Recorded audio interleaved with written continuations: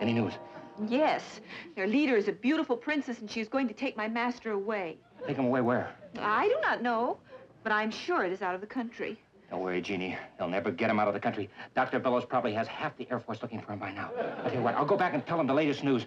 You keep an eye on Tony, okay? Hmm, I certainly will. Okay. Guess who the ringleader is? A beautiful female spy, a princess. A princess. Take him out of the country. At least she thinks she is, but you're going to stop her, aren't you, sir? I promise you that Captain Nelson won't be taken out of the country by a beautiful female spy. I know I could count on you, sir. I better get back and see how Tony is. Oh, yes, do that. And keep me informed of any developments. Yes, sir. Be the first to know. A beautiful female spy. Are you out of your mind? I'm...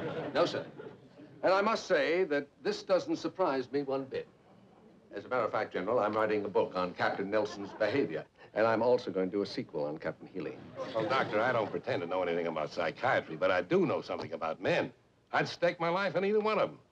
I don't believe that Captain Nelson is being held by any Chinese spies.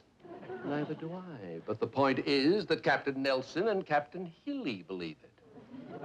Captain Healy tell you that? Yes, sir. He was in my office not five minutes ago. Where is he now? He went back to get further information. Let me know when you hear from him. Believe me, I will. You still refuse to talk, Captain Nelson. You could save yourself a lot of trouble by letting me go. I'm not afraid of trouble, Captain. Are you? No. See, I'm going to take you to uh, a secluded place, high in the mountain, where we can uh, work. I can hardly wait, Princess. The arrangements have been completed. There's a boat waiting for us at the pier, and uh, we have already contacted the submarine. Submarine? You are a very important man, Captain Nelson. Oh, thanks. How soon can we uh, leave? The car will be ready in 30 minutes. Good. But meanwhile, let's don't be rude to our guest. Uh, take him down and we'll have some tea. I will prepare.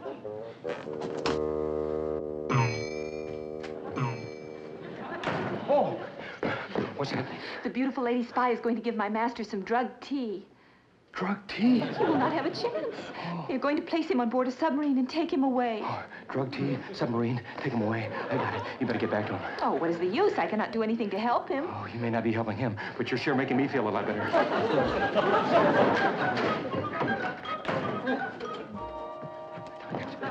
Bellows? Any news? Oh, I'll say.